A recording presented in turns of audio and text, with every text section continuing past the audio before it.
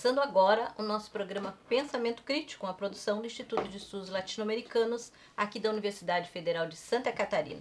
E hoje vamos falar um pouco da conjuntura política brasileira. Né? A gente acabou de ter aí é, eleições para presidências, primeiro turno, segundo turno, muitos fatos né, envolvendo esse processo eleitoral, muitos chamados crimes eleitorais, eleitorais que foram cometidos e que até agora também a gente não viu é, nada né, sendo é, apurado, enfim. Mas é, a gente quer então falar um pouco sobre esse processo das eleições e depois também agora nesse momento, uh, esse, essa hora né, da formação uh, dos gabinetes de transição, as propostas que estão se desenhando no novo governo. Então vamos por aí. Rampinelli, qual a tua avaliação aí desse processo eleitoral?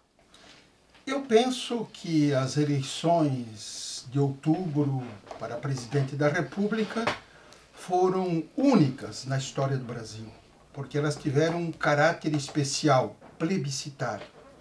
Portanto, diferente de todas as acontecidas até agora. Nós estávamos não apenas a escolher representantes políticos de um ou outro partido, mas havia aí duas grandes opções ou democracia burguesa ou fascismo. Isso estava posto. E este fascismo com uma característica bem específica, marcada pelo fundamentalismo religioso. Quero lembrar que João Bernardo, quando analisa o fascismo na Europa, no seu livro Os Labirintos do Fascismo, ele sempre diz que o fascismo seja na Alemanha, seja na Itália, seja na, em Portugal, seja na Espanha, tem quatro características que podem mudar. Tem preponderância ou da igreja, ou das forças armadas, ou das milícias, ou dos partidos políticos. E no Brasil, este protofascismo estava marcado pelo fundamentalismo religioso. Esta era a característica dele. Tanto é que continuam as pessoas cercando os quartéis e rezando, pedindo intervenção militar. Então tínhamos essas duas opções. É, foi uma eleição também, Elaine, com um caráter de classe. Basta você ver como se comportavam as pessoas num estádio de futebol, apoiando uma candidatura, mas popular. E como se comportavam as pessoas na Fórmula 1, que é a elite, apoiando a outra candidatura. Então, nas próprias aglomerações esportivas, havia um caráter de classe no que toca à eleição. Por isso, não era uma eleição qualquer. Você tinha duas grandes opções eu entendo que não se muda um país pelas eleições, não tenha dúvida. Mas a eleição pode abrir perspectiva para grandes mudanças. E eu poderia trazer algumas eleições históricas na América Latina em que abriram perspectivas. Citaria a eleição de Jacobo Arbenz Guzman na Guatemala em 1950, um liberal mas ganhou uma eleição com 65% de apoio popular e abriu perspectiva para avançar, inclusive fazendo a reforma agrária nas terras da United Fruit Company, cujos donos eram Richard Nixon, vice-presidente dos Estados Unidos, Alan Dulles, diretor da Agência Central de Inteligência, e um rico empresário de Chicago. Foi uma eleição entre liberais e conservadores. E esta eleição abriu caminho para grandes mudanças. Então, a eleição em si, ela não é tão importante, mas quando ela abre perspectiva, sim. Por isso, não se pode ficar neutro numa conjuntura como esta. E, e citaria também o caso de Violeta ba, eh, Chamorro, na Nicarágua, em 1990, quando ela ganhou as eleições de um representante do sandinismo e enterrou a revolução sandinista. Veja como eleições são importantes porque elas podem abrir perspectiva. Não tão importantes em si, mas importantes para si, para aquilo que vem. Por isso, eu penso que é, a eleição de outubro no Brasil teve um caráter todo especial. Você tinha duas grandes opções, como eu falei: ou democracia burguesa ou fascismo religioso. Nildo Orix, e tu, qual a tua avaliação desse processo, do processo eleitoral em si, tudo o que aconteceu, enfim? Deu um racha no Iela. Já temos aqui, para quem acha que é um monolito, todas as eleições do período petucano foram plebiscitárias. Todas elas. Nunca apareceu uma terceira via. Ou era um petista ou era um tucano. Os tucanos derrotaram os petistas, os petistas derrotaram os tucanos. Sempre foi plebiscitária. E, inclusive de 2018, entre o proto-fascista Bolsonaro e o liberal Haddad, também foi plebiscitária. Todas foram plebiscitárias. E essa também foi plebiscitária. Acho que esse é o primeiro aspecto. Eu tenho uma divergência com o Valdir quando ele diga que era entre uma democracia liberal e o fascismo de natureza religiosa. E, e, e, uma diferença talvez maior que, seja, que é importante a gente discutir aqui, que essa foi uma eleição com duas perspectivas de classe. Eu acho exatamente o oposto. Vamos tratar as duas coisas.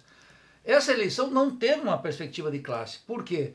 Porque milhões de trabalhadores votaram no proto-fascista. Essa é a grande característica.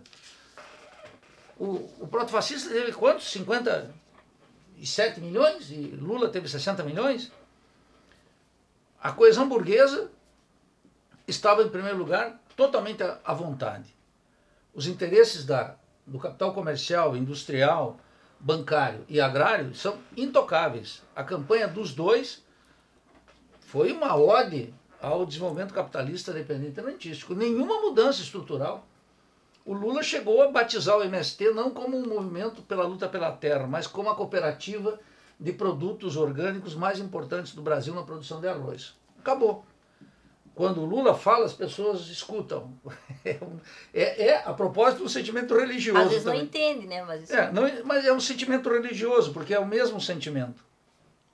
Então veja, primeiro nós não tivemos uma orientação de classe, porque as duas campanhas não informaram isso. Embora fossem campanhas distintas. Uma, sim, apostando na restauração da democracia burguesa e das suas formas parlamentares degradadas, cujas vísceras estão aí à luz de todos com o que a mídia e a esquerda liberal chamam o centrão, que foi do Cardoso, foi do Lula, foi da Dilma, foi do Temer e foi do próprio fascista também. Todos fizeram a mesma coisa.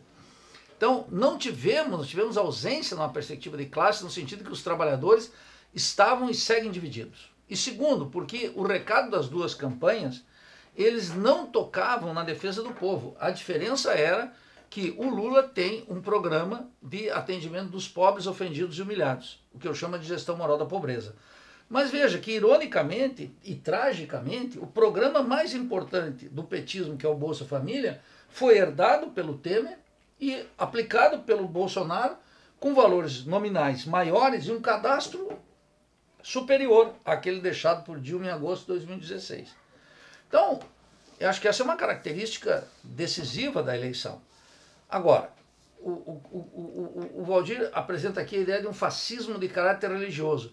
Eu, ele teria que explicar mais isso, o que seria esse fascismo de caráter religioso. Eu estou de acordo com ele em algo que me parece essencial.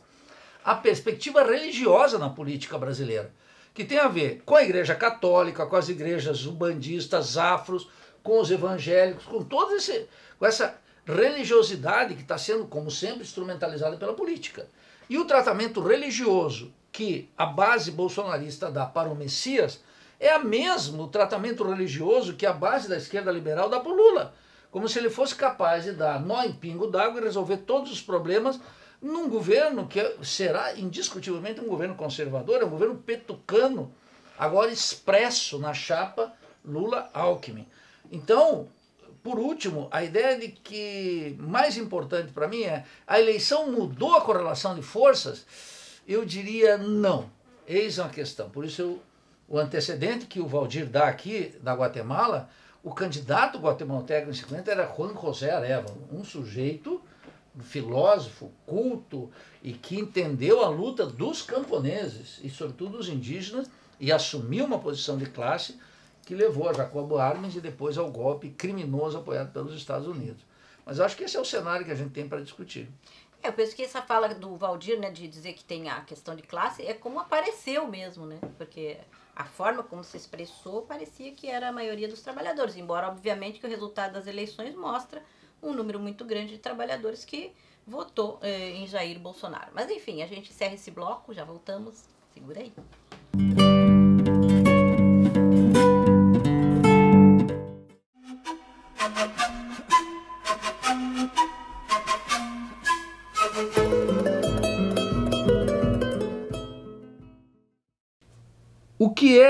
O imperialismo senão o nacionalismo das potências poderosas? Há dois nacionalismos. Um, o do Estado forte, que se anexa ao débil. Outro, o nacionalismo dos povos débeis contra a prepotência dos fortes. É uma hipocrisia radical, ainda pintada de amor universal, e apelo aos féritos de Nuremberg, a identificação do fascismo com os nacionalismos dos países dependentes. Essa é uma constatação de Juan José Hernández Arregui, esse filósofo argentino extraordinário, que publicou cinco livros e faz parte desse imperialismo e cultura. Uma análise radical da inteligência portenha em particular, mas argentina em geral, que passou o rodo no grupo Sur e, portanto, em Vitória Ocampo, Jorge Luiz Borges, aquele mesmo que renegou seus três primeiros livros, entre os quais Fervor de Buenos Aires, que era uma obra de clara identificação nacionalista, aquele mesmo Borges que disse que a realidade argentina era vital e enquanto aquela inteligência pensada era postiça e que depois renega a sua obra anterior, esse mesmo Borges é, é o primeiro que sofre a análise crítica de Juan José Hernández Arregui, um filósofo argentino da mais alta importância que trabalhou a questão nacional e o nacionalismo desde um ponto de vista marxista um dos grandes filósofos da América Latina, completamente desconhecido do povo brasileiro. É claro que ele teve íntimo contato com Álvaro Vieira Pinto, quando estava escrevendo O que é o Ser Nacional, sua única obra publicada em português. A análise do marxista sobre a questão nacional e o nacionalismo em particular encontrou em Juan José Hernández Arregui um ponto altíssimo da elaboração teórica latino-americana. Não por acaso é uma obra proscrita, precisamente porque conjuga de maneira crítica duas grandes tendências latino-americanas: o nacionalismo revolucionário e o marxismo crítico. Juan José Hernández Arregui era também um profundo conhecedor de literatura e um homem versado na filosofia clássica europeia e, sobretudo, absolutamente identificado com a emancipação da pátria grande. Um autor para os dias que correm.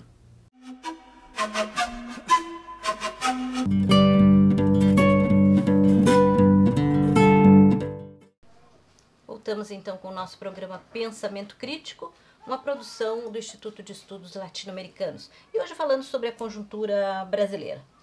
Bom, já falamos um pouco sobre o processo e tal, mas queria tocar um pouco nesse aspecto do próprio processo, né, que a gente viu aí o governo usando de vários artifícios, né, para poder ganhar as eleições e acabou ainda perdendo. E agora é, toda essa toda essa problemática né, que o país vive com a não aceitação do resultado das eleições, né? Como é que vocês observam esse fenômeno? Que já foi um fenômeno meio parecido quando a Dilma ganhou, né? Na realidade, Elaine, por que, que eu digo que esta eleição é única na história do Brasil? Porque na realidade não foi uma eleição. O Estado, com a sua estrutura econômica, política, de segurança, ela avançou sobre a outra candidatura, não houve isonomia absolutamente em nada. Até no próprio dia, os sistemas de segurança estavam impedindo as pessoas de votarem. Uma eleição tem que se dar em níveis igualitários, isonômicos, iguais para ambos os candidatos. Olha o orçamento do Estado brasileiro posto a serviço de uma candidatura. E esta candidatura perdeu. Quer dizer, o povo disse não, apesar de toda a estrutura posta a serviço desta candidatura. Eu quero dizer que é, o Nildo comentava que os trabalhadores votaram no protofascista, sem dúvida nenhuma. É, milhões de trabalhadores votaram no Adolf Hitler quando ele se elegeu.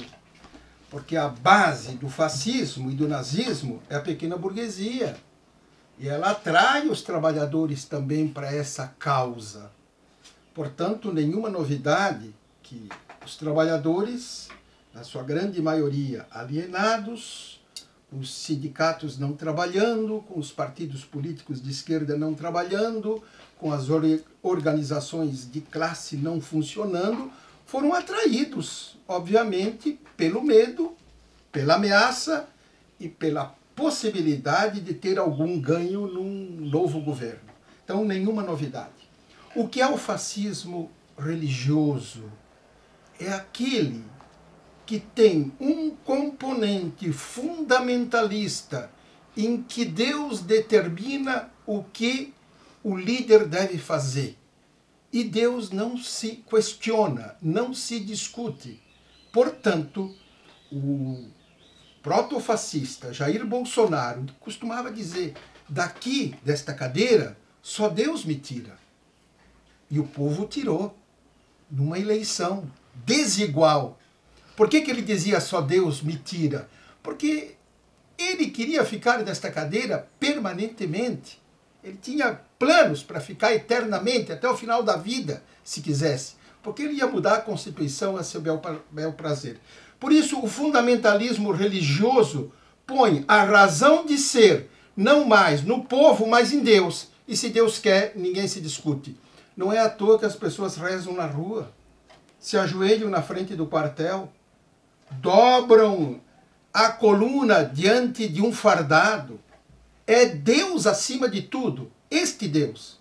Por isso eu diria que, eh, sem dúvida nenhuma, esta não foi uma eleição, foi uma atitude plebiscitária. Agora, a eleição em si acabou, o grande trabalho vem agora.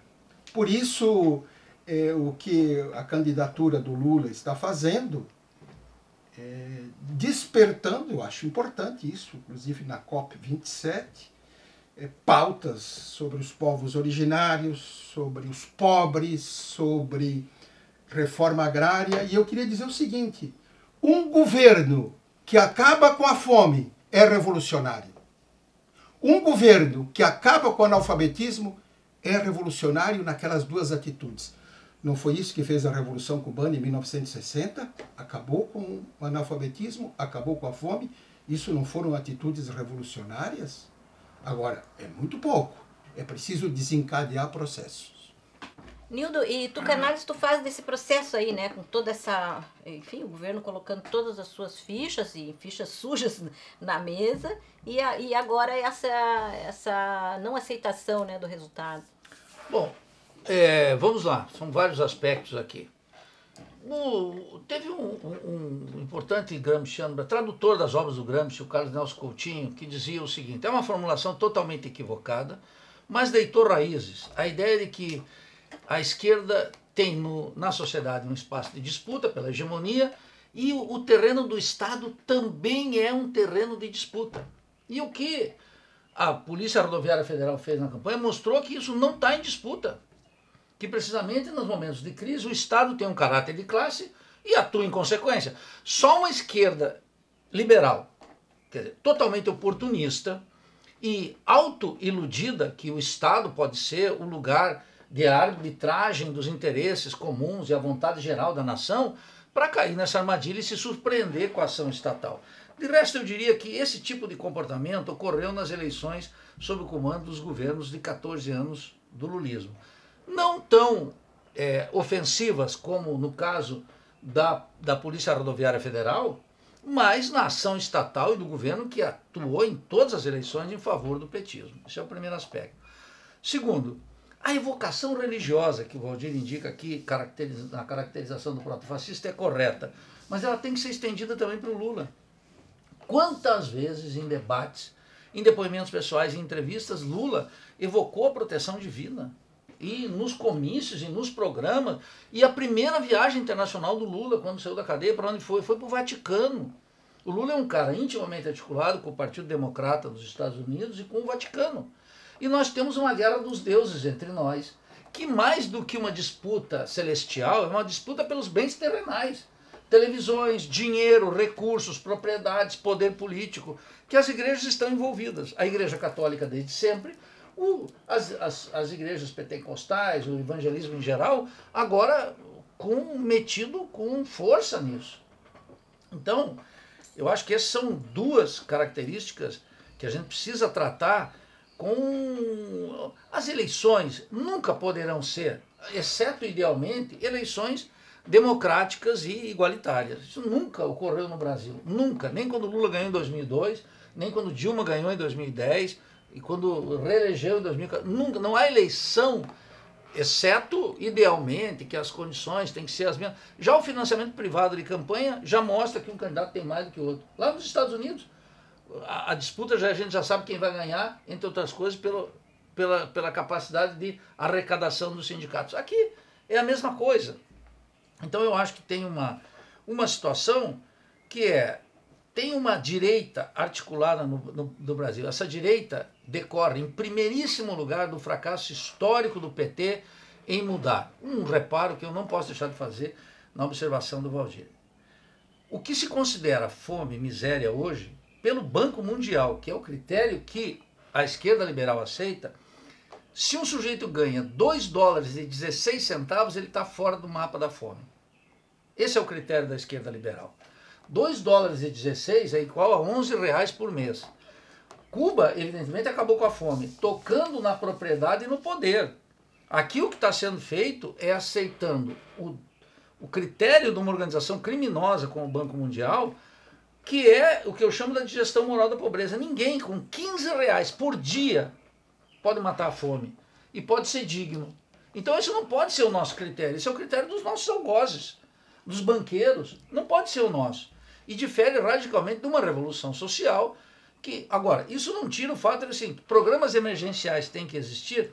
Sim, eles não podem durar 14 anos e nem pode vir agora a mesma repetição. Eu quero saber se o Lula vai tocar na propriedade da terra, na propriedade dos bancos, na democratização dos meios de comunicação, numa agenda real, para saber se a esquerda liberal é capaz de enfrentar essa direita que, de resto, o protesto que está aí, ela, ele é incapaz de mudar o resultado eleitoral. Ele faz parte de uma estratégia de conquista do poder político pela direita.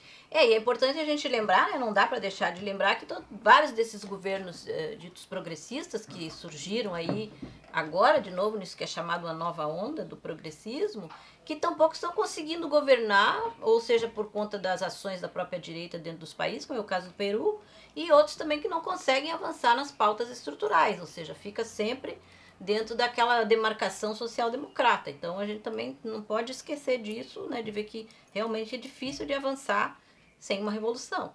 Enfim, mas a gente já volta para o próximo bloco, tá bom? Fica aí.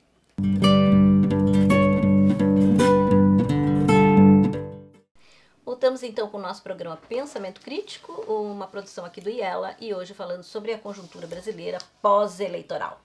É, Valdir, e bom, já falamos do processo eleitoral e tal, agora esse primeiro, esses primeiros momentos né, de, de articulação da, da chamada turma de transição do governo Lula, já se vê aí muita coisa acontecendo e já se vê também é, muitas críticas né, por parte da mídia normal, né, que a gente sabe foi, a mídia sempre foi antipetista, antilulista, enfim. Como é que tu analisas aí esses primeiros passos da equipe de transição? Bom, eu acho que agora é que vem o grande trabalho das classes organizadas. É preciso transformar essa democracia burguesa, capitalista, numa democracia popular.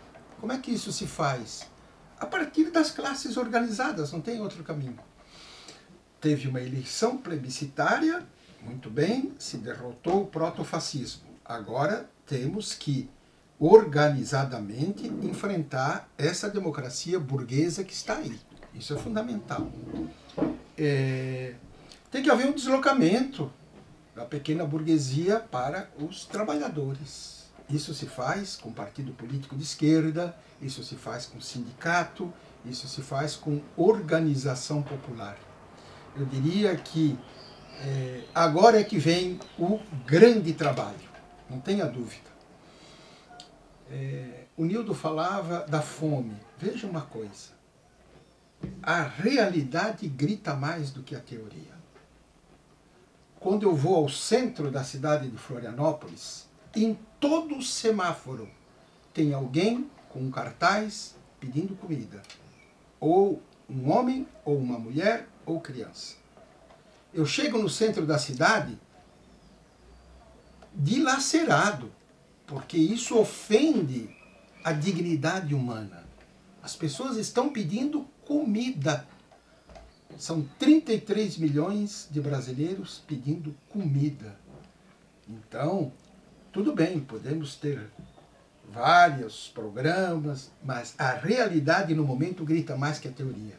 E eu volto a dizer, matar a fome deste povo neste momento é uma atitude revolucionária. Claro que não se pode ficar matando a fome deles eternamente, é preciso criar condições. Para isso tem que mudar a realidade. Então eu diria, Elaine, que a atual conjuntura agora é muito difícil para os trabalhadores, para as classes organizadas, porque agora começa a verdadeira tarefa. A eleição passou, agora é que vem o nosso trabalho, o trabalho de todos aqueles que querem mudar a realidade. E eu penso que é possível. Temos que medir forças, porque para mudar esta realidade o processo é o revolucionário. E aí temos que avançar e esticar a corda o máximo possível.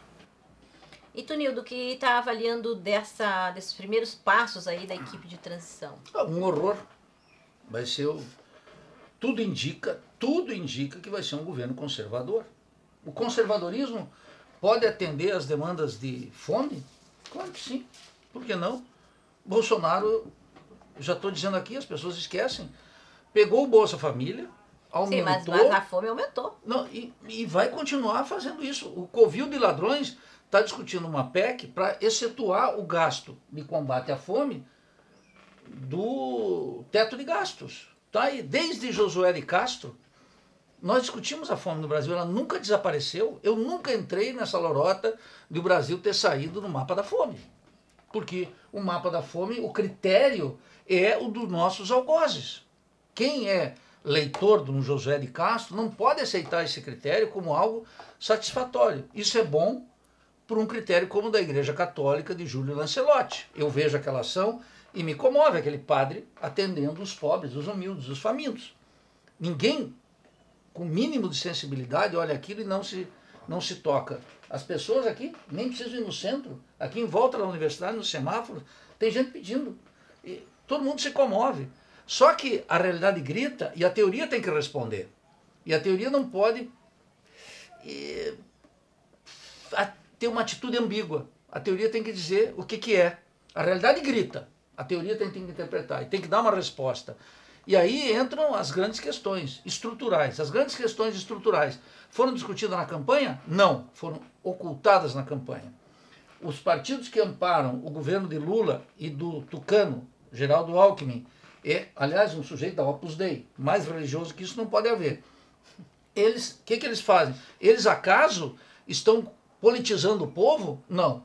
Os partidos, o PT, o PCdoB, os, mesmo os partidos que apoiaram no segundo turno, estão organizando o povo, criando consciência de classe necessária para enfrentar uma guerra de classe declarada pela burguesia e encabeçada por uma outra direita contra todos nós? Tampouco. Então, quando eu olho esse cenário, digo a eleição, o resultado dela, ainda favorece estruturalmente as forças proto-fascistas, que constituem uma ameaça. Uma ameaça real contra o quê? Contra o que nós temos de uma república burguesa apodrecida, contra o espírito republicano que é incapaz de restituir a civilidade entre os brasileiros e reconstituir uma paz social no Brasil que de resto nós nunca tivemos, e menos ainda de apontar um futuro para além da barbárie capitalista, para além do sistema capitalista. Então aquilo que é estrutural não vai ser tocado por esse governo as comissões, os grupos de trabalho, as brigas, a carta do Armínio Fraga, a renúncia de Guido Mantega, já está mostrando o caráter caótico, conflituoso do governo, que é incapaz nas suas ações, pelo que eu quero dizer muito claramente, eu digo que é um governo de caráter conservador, Lula-Alckmin, porque o, o, o liberalismo muda de tonalidade. O Lula era radical comparado com os tucanos. Agora o Lula, mas não era um sujeito de esquerda, Agora o Lula é uma esquerda ultramoderada, eles chamam de uma frente diante do proto-fascista. O conservadorismo e o liberalismo muda, é. ele sofre uma metamorfose. E ele é incapaz de tocar nos elementos da propriedade e do poder. E um governo que não faz isso fortalece necessariamente a classe dominante. É, e também a gente vai ter que observar isso mesmo, né? Durante os governos, os mandatos Lula e Dilma, houve um arrefecimento da luta é, oficial, digamos assim, dos trabalhadores, Sem sindicatos dúvida. centrais, né? Quer dizer, vai, vai continuar isso? Ou, Me permite vai haver algo uma... nisso, Elaine. Ah. Você está mencionando muito importante, não só a queda do grau de consciência e organização, como eu discordaria daquela tua primeira, que a, a mídia é antipetista, porque a Globo e a CNN, dois monopólios, nessa eleição estavam contra o Bolsonaro estiveram do contra lado... o Bolsonaro, mas segue antipetista. Ah, ganhou contra o fascismo, agora vamos continuar batendo. É óbvio. bueno, mas enfim, a gente encerra esse bloco, já voltamos.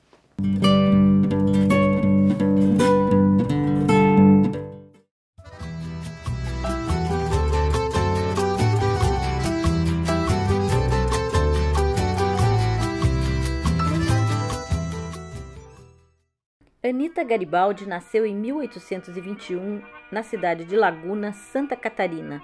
Ali conheceu Giuseppe Garibaldi e com ele se integrou à Revolução Farroupilha, participando de vários combates. Teve seus filhos em plena guerra, lutando, fugindo e defendendo a liberdade. Em 1842, seguiu para a Itália, onde também foi lutar pela unidade e independência daquele país sendo reconhecida então como a heroína dos dois mundos. Morreu aos 28 anos em 1849. Não tenha medo de viver, de correr atrás dos sonhos. Tenha medo de ficar parado.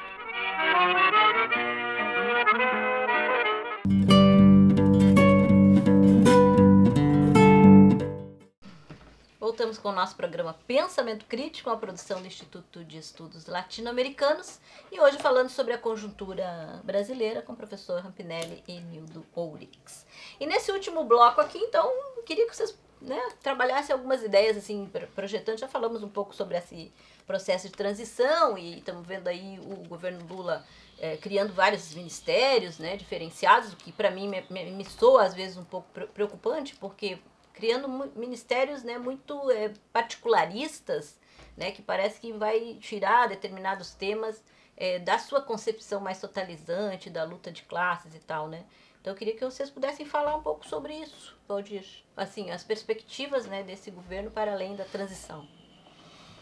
Elaine, é, eu gostaria de atuar em condições históricas escolhidas, mas não é isso que acontece cabe a nós atuar nas condições históricas que nos são dadas.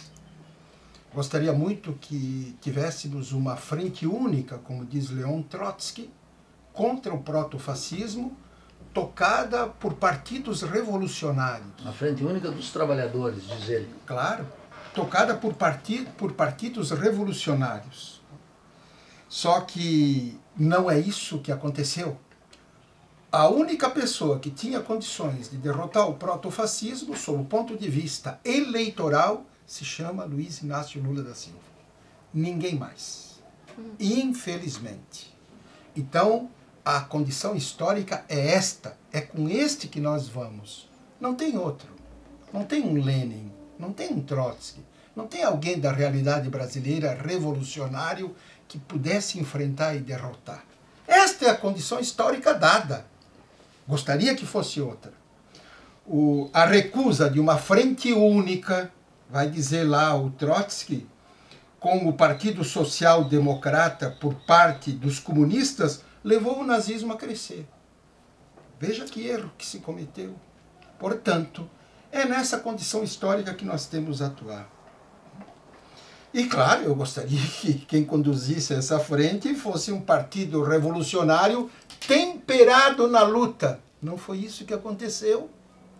Foi essa junção toda.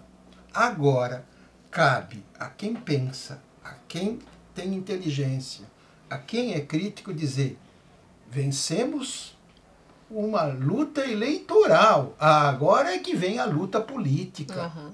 Agora é que vem a organização das classes sociais. agora é que vem a grande tarefa. A ingente tarefa de mudar este país começa agora. O mais fácil já passou. Né? Então, sem dúvida nenhuma, os tempos não são de esperança, porque a esperança nos convida a esperar os tempos são de ira iracunda, porque a ira iracunda nos obriga a nos organizar. Esta é a nossa realidade. Não esperança, ira iracunda. Nildorix, e tu o que, que espera aí agora depois dessa nova do novo governo, depois que passar esse processo de transição? Fatalmente haverá de tomar posse, porque como tu mesmo falaste, esse movimento que a gente vê se expressando aí nos quartéis fatalmente vai se desfazer. Não eu... desfazer, talvez, né? Mas uhum. vai ficar aí incomodando, mas. Não, eu nada espero. Menos ainda do governo. É um governo petucano. Aqueles que me criticavam quando eu dizia, olha, o sistema petucano, o pessoal torcia o nariz. Agora é Lula Alckmin, mais expressão do que isso. É adequação da realidade ao conceito, diria Hegel. Mas o pessoal não está com uma conduta crítica. O petismo a base da esquerda liberal é tudo menos crítica. Quando o, o Rampinelli diz assim, agora é que começa, é que o agora não começa nada. Esse é o problema. Porque nós viemos de uma estrutura. Qual é a estrutura? Ora, um liberalismo nas forças populares. Então, quando tu diz, o que, que o Lula tem dito?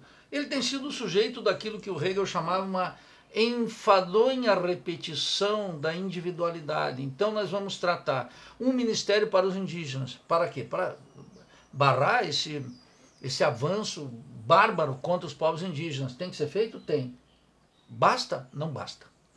É, haverá um Ministério da Reforma Agrária? Nem pensar. O Lula tem que conciliar os interesses do latifúndio, crescentes e cada vez mais turbinados pelo mercado mundial, e a defesa dos territórios indígenas. Isso é uma missão que nenhum governo que não toma lado pode resolver. É, é, é a mesma coisa. Bom, Vai mudar o Banco Central e o Ministério da Economia, a orientação? Não. Então vai poder atender os interesses dos trabalhadores? Tampouco. Eu já estou dizendo, vai ficar do lado das classes dominantes. Por quê? Caíram numa armadilha. O Valdir recorda aqui um antecedente histórico muito bem lembrado pelo Trotsky, que foi um grande revolucionário, que com especial atenção tratou os temas do bonapartismo, do fascismo, etc. O que, que era um erro dos comunistas não fazer uma aliança com a social-democracia? Porque a social-democracia tinha uma base operária e os comunistas também, contra a ascensão do fascismo. O problema é que essa base operária aqui está dissipada. Uma grande parte não votou, 30 e poucos milhões se abstiveram, 60 milhões com o Lula e 57 milhões com o próprio fascista. A classe trabalhadora está completamente. É, como diria José Revueltas, um proletariado sem cabeça e, além disso, com um corpo dividido. O que os 14 anos de governo petista fizeram foi diluir aquele que é o interesse de classe. Em nome de quê? Das causas identitárias. Como se nós pudéssemos atender à igualdade de gênero dentro do sistema capitalista. É. Como se nós pudéssemos combater o racismo dentro do sistema capitalista. Só podemos acabar com o racismo, com a misoginia, com a subordinação da mulher, com a sociedade patriarcal, combatendo pelo socialismo. Não é o que o Lula faz e não é o que os movimentos populares dessa índole fazem. São todos de caráter liberal, profundamente influenciado pela ideologia dos Estados Unidos do Partido Democrata. E da Fundação Ford. Bom, nem vou falar das medalhas de embaixadas, de bolsas, de programas, de convites de parlamentares do PSOL. Tem parlamentar do PSOL que vai ser vai fazer é, é, é, curso de liderança convidado pelo Departamento de Estado e publica no Twitter dizendo que as pessoas Sem beijo. Ou a PIB, que vai lá pedir para o Biden, para o Partido Democrata, reconhecer as eleições é. aqui. Quer dizer, nós. Mas o que, que eu acho que é importante, Elaine?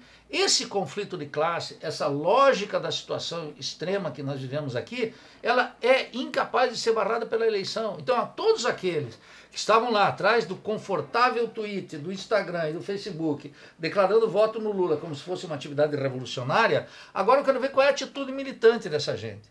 Se vão efetivamente para os chamados movimentos populares, para a classe trabalhadora, para o socialismo, que é a única forma, a Revolução Brasileira, de enfrentar essa guerra de classe e essa ofensiva burguesa que não cessa.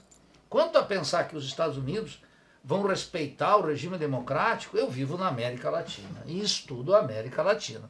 Os Estados Unidos, Partido Democrata ou Republicano, os partidos democratas invadiram Cuba. Foi sob os governos democratas. O, o, o, invadiram o Panamá. Sim, invadiram. Os governos democratas e republicanos apoiaram o, o apartheid na África do Sul. Então não tenho nenhuma ilusão mas é um, um processo de luz confuso, está ficando cada vez mais claro e está dividindo. Eu, você, o Valdir, Elaine, todos que vamos ter que agora ter uma atitude crítica e uma praxis militante. Então, nesse sentido, eu não sou nutrido por esses bordões, estou de acordo nesse aspecto com, com o Valdir, por esperança, amor, cuidado, acolhimento, essas conversas. Isso é bom para a CNN e para a Globo, mas não faz bem para o país. É, e a gente então vai ter que continuar aí analisando e, e observando né, como é que se organizam essas forças e torcendo para que os trabalhadores efetivamente compreendam isso, né? Que uh, a luta dos trabalhadores é que movimenta as forças né, dentro de um determinado governo para lá ou para cá. Se os trabalhadores continuarem é, apáticos, né, como ficaram aí durante muitos anos, desde o primeiro governo Lula, né, com, claro, lutas pontuais, né, mas é, é preciso uma luta é, da maioria dos trabalhadores para carregar o governo que já se mostra, obviamente, pelas alianças que fez, um governo conservador. Então, ou se é os trabalhadores que vão empurrar para a esquerda. Se ficar parado, cada vez mais para a direita. Agora, Elaine, esse é o regime presidencial. Quero saber, e o presidente? Vai puxar para que lado? Vai é, convocar o então povo ou vai, vai ficar sentado em Brasília esperando que a gente se mexa? Ora. Isso aí. Vamos lá, então. É, agradeço aí pelo programa hoje. Muito obrigado, Vitória e Felipe. E a gente volta daqui a pouquinho. Tchau.